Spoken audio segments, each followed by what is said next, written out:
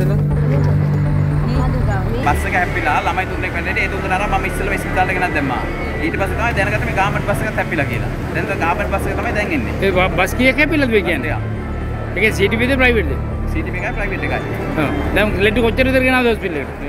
කීයක් එනවද දන්නේ ඇම්බුලන්ස් එකත් ඇවිල්ලා තියෙනවා. பிபிலை அம்பாறை வீதியின் நாகல பகுதியில் நேற்று வியாழக்கிழமை இரவு இடம்பெற்ற பேருந்து விபத்தில் காயமடைந்தோர் எண்ணிக்கை நாற்பத்தி ஒன்பதாக அதிகரித்துள்ளது.